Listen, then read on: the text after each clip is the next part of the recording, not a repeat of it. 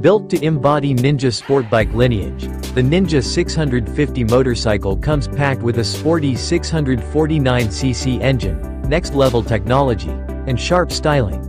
Unmistakable sport performance is met with an upright riding position for exciting daily commutes, while a supreme level of attitude reminds you of its legendary heritage. Sharp styling comes with aggressive bodywork and twin LED headlights for a sporty appearance.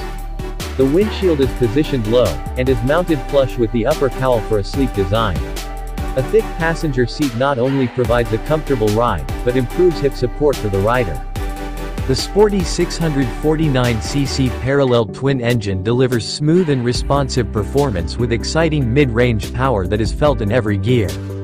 An assist and slipper clutch helps to put the power to the ground while providing an extremely light pull at the lever and reducing rear wheel chatter during downshifts. All digital TFT, thin film transistor, color instrumentation gives the cockpit a high-tech, high-grade appearance and visibility. The screen's background color is selectable. Kawasaki Traction Control, KTRC, features two modes that allow the rider to adjust settings to suit the riding situation and rider preference. Mode 1 provides the least amount of assistance with sport riding in mind. Mode 2 offers the most assistance, allowing riders to navigate challenging road conditions with confidence. Riders may also elect to turn the system off. Light and slim chassis features a trellis frame and horizontal back link rear suspension for nimble handling and excellent traction response resulting in a more direct connection to the road.